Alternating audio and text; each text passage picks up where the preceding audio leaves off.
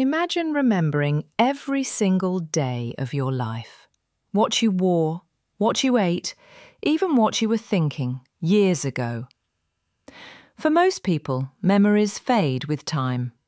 But for those with a rare condition called hyperthymesia, they don't. Their brains can recall every date, event, and emotion in incredible detail, as if replaying a movie of their life. It sounds like a gift, but it can also be a curse. They can't forget pain, loss, or sadness. Every moment, good or bad, stays with them forever. Scientists are still studying how their brains store and organise so many memories. Hyperthymesia, the condition that makes you remember everything.